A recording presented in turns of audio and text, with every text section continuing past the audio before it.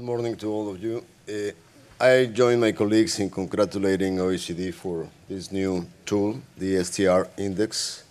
This analytical tool represents a great opportunity to continue discovering areas where there is still place to improve the way we exchange goods and services. I agree with Mike Froman uh, in the fact that uh, the interrelationship between services and goods in the manufacturing sector is essential 30% of manufacturing now depends on, on, on services. And therefore, for the future of manufacturing, which is a very important sector in Mexico, we really appreciate this new tool. I'm sure that the insights that the index provides will be helpful to assess and uh, direct public policies for creating a less restrictive environment in, in which trade and services uh, definitely will flourish.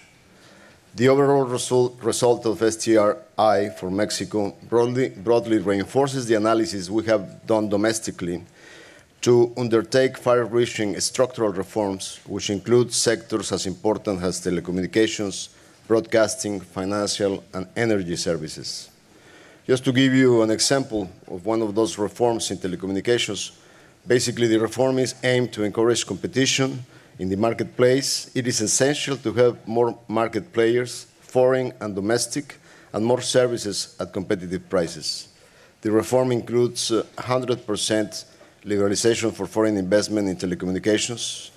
It will also ensure universal coverage, enhancing access to faster and re reliable services, as well as a greater uh, diversity of content. It will also increase fixed, mobile, and wireless penetration of broadband access. As you can see, enhancing competition in services activities is high in the Mexican economic agenda.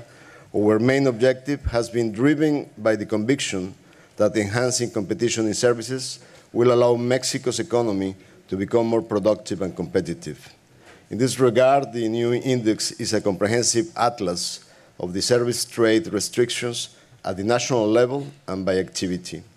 The information allows each country to benchmark its services activities in both in absolute terms and also with relation to global best practices.